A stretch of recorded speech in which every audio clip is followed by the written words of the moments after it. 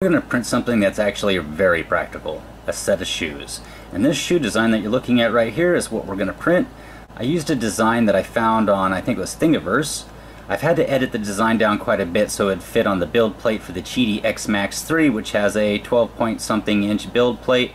Um, I had to cut the back of it off. I cut a ton of the bottom of the shoe design off. It was more of a high heel kind of looking design or a boot style design. I've removed a lot of that, so we're going to save a lot of time in the build here.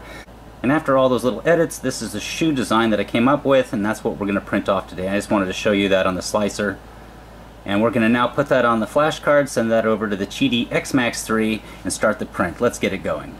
We're uh, quite a ways into this. Let's see, 6 hours and 28 minutes in, 61% done. I just want to kind of give you a quick shot of what it looks like so far. I am seeing a little bit of lift happening here around some of the edges and corners, which that's not good. That might fail the print on us as it gets further and further along. Hopefully it doesn't pull all the way around. Let's go ahead and give ourselves a quick look from above. Alright guys, our shoe's done printing.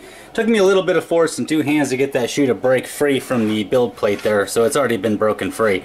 But I want to use the light in there to kind of give you a good look at the shoe itself. Now we had zero supports anywhere. Look inside of that. I mean, there is very little hanging down, so just a little bit of supports added to this right down the center. That's all it's going to need. But for the most part, everything else looks really good. Take a look at the bottom. That looks great. We could definitely add some kind of uh, tread to that later on in the design. Alright guys, let's go bring that in the room and see how well it fits. It looks great. Alright guys, here comes the moment of truth. Let's go ahead and well that was actually really nice and easy. Um, I love the way that feels on the bottom of my foot. Unlike the last croc that was really confining up towards my toes, this one's actually a little too big. I could print this quite a bit smaller. Um, wow, that's great. I have a 10 and a half, just a little bit bigger size foot. So these are probably more like a size 12 that I've just printed. Gives me plenty of room inside of there. Um, that is a great, great shoe. Actually feels very comfortable, even with only 5% infill. Um, it feels like I've got plenty of support underneath my foot when I press down. Alright guys, let's go ahead and print another shoe. I think what I'll do is I'll make the next one just a little bit smaller. It doesn't really matter, I can always print a third one later on to match the second one. And I think I'll take about, uh, let's say, hmm, 15 millimeters off the length.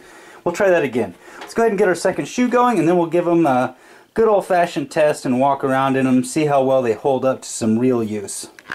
Alright guys, our second shoe is done. Real quickly here I want to just set that first shoe up beside it.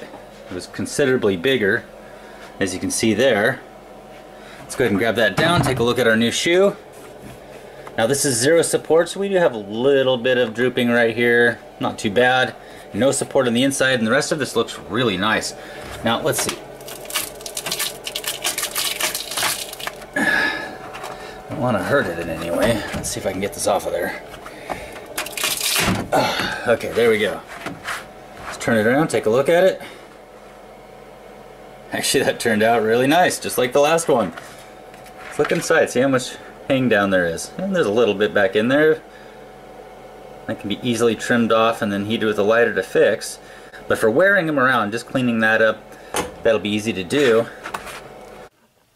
Alright, so I have them equal back to back here. I just want to show you how much I've taken off the front end. It's about 15 millimeters. Let's see how much better they fit. Alright, so here's the moment of truth. Let's try on the new one.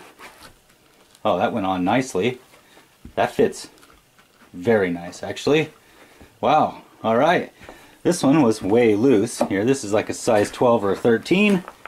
And there we go, guys. We now have a fully 3D printed set of actually very comfortable shoes. Now I've only printed these with the 5% infill. You're definitely going to want to increase that to 10, maybe even 20% depending on what kind of longevity you want. I also printed with only two outside perimeter walls, which you're going to want to increase that to three after printing these. That'll give you a shoe that's going to last quite a long time, probably even longer than the one you bought at the store. I am very happy with these. So what I'll do is I'll do an update later on, maybe in a few weeks, after wearing these around, I'm going to kind of give you an idea of how long they lasted, how well they kind of break in, all those things.